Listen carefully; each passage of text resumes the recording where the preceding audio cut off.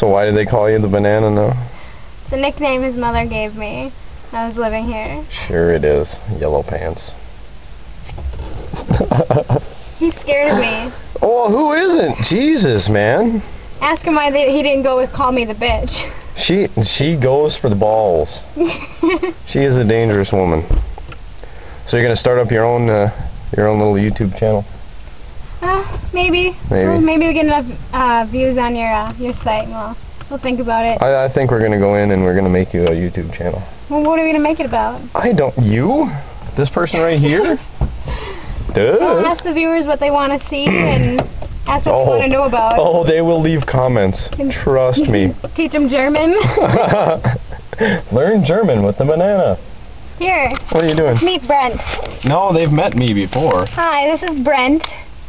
This is the guy behind the camera. Well, you. Oh, oh, I think this, we gotta get it off of you. The screen's gonna break. Yeah, I know. No, they've seen me before.